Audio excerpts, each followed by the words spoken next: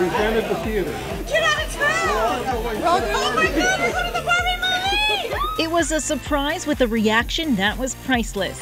Robert Foster became the husband of the year after planning this epic evening for his wife Diane and 25 of their friends to see the Barbie movie where they live in Nebraska. He rented out the whole theater. Wow, my dad and I are just so blown away by how many people are so excited about the surprise he has planned for my mother and her friends.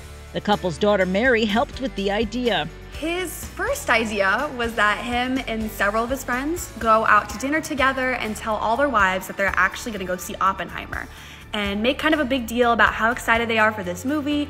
And then when they actually get to the theater, surprise them and take them to Barbie instead.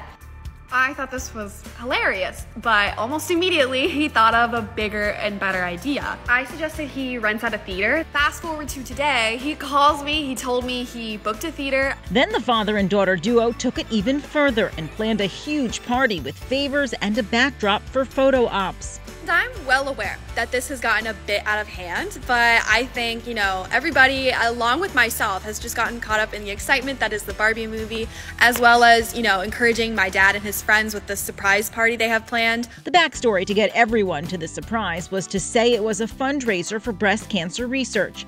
And since the color for breast cancer awareness is pink, it worked.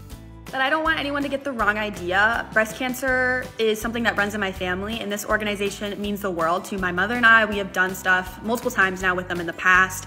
And so this genuinely is now a real fundraiser. Oh And since the surprise became a fundraiser, they raised $5,000 for the Breast Cancer Research Foundation. Power of Barbie. I'm Leigh Scheps for Inside Edition Digital.